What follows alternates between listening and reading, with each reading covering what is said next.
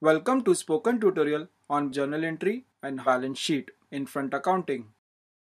In this tutorial, we will learn how to pass a journal entry, see the reflection in balance sheet, and avoid a transaction.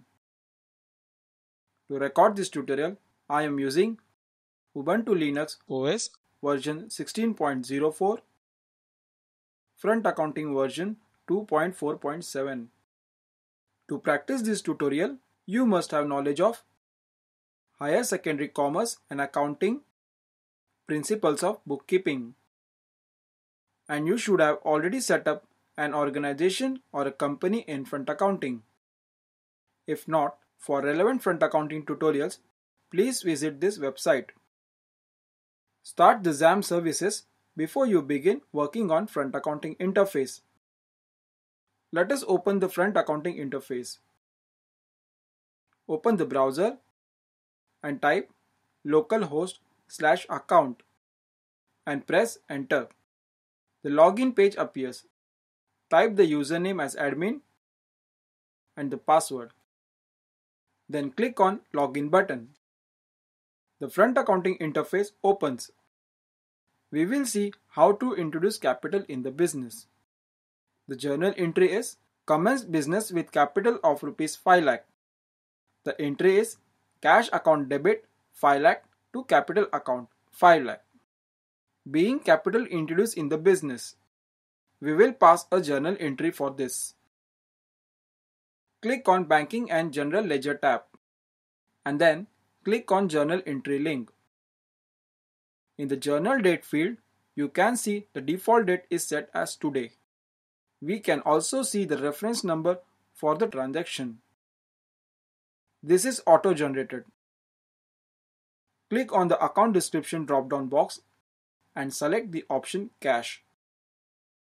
Click on the debit text box and type the amount as 5 lakhs. To save the debit entry, click on the add item button in that row. Again, click on the account description drop-down box and select the option capital. Then click on the credit text box and type the amount as 5 lakhs. To save the credit entry, click on the add item button in that row. Now click on the memo field for the narration of this journal entry. Here, type the text being capital introduced in the business. To save the entry, click on Process Journal Entry button at the bottom of the window. You can see the message at the top which says Journal Entry has been entered. You can also see the options View this journal entry, Enter new journal entry, Add an attachment, and back. Let us explore this one by one.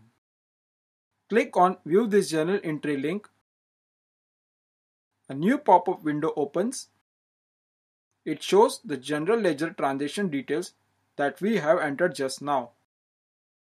Print link is to get printout of this transaction for our future reference.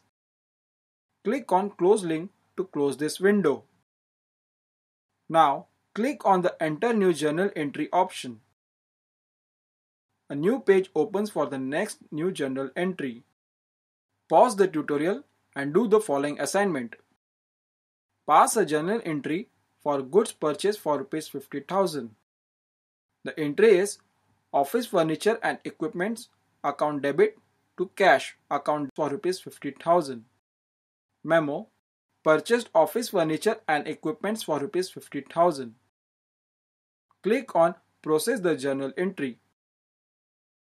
Now click on the Add an attachment link we can see the fields transaction, description, and attach file. Attach file is to attach any document related to journal entry which is passed. Let me attach a sample voucher which I have already created and saved on my computer. Click on the browse button and locate the folder in which the file is saved. I will select the sample voucher.pdf file from my desktop folder. You can see the file attachment here now. This voucher has been provided in the code file link of this tutorial. Please download and make use of the file while practicing. Then click on the Add New button. A message appears that says Attachment has been inserted. Also, you can see that the uploaded file has been added to the table. Click on Back option to go back. Next, let us see the reflection of this journal entry in the balance sheet. To do so, click on the Banking and General Ledger tab. Then click on the balance sheet drill down link. We can see the transaction is reflected here. In the future, when we have many more journal entries, the displayed list would be longer. Next, let us see how to void a transaction.